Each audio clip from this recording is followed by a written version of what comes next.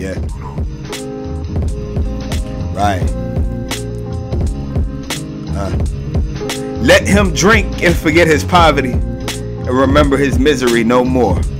Proverbs 31 7. Yeah. Can we talk about New York real quick? Um, when I was in New York, feeding the homeless, every single day I could smell the aroma of hard alcohol and it only got stronger. I know they're only drinking to make themselves calmer. I know just what you're thinking, go get a new job, bruh. Most of them been convicted, got felony drama. Now they become a victim of calculus problems, mathematical equations, not easy to solve them. Especially when you're facing a system that robs them of opportunities. That's why most of them jobless. And I guess you can say there's been some progress up in Congress, legislation trying to bypass all these drug tests.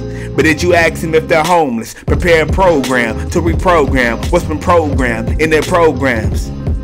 This is way, way deeper than the front door, man. Knock on it and step inside. We gotta learn how to connect with the subconscious mind. Poverty does not lead to misery all the time. Every homeless person, you're not always gonna find the type of story that you thought each one's one of a kind. So cherish everything you got. You are one of a kind. Yeah. Right.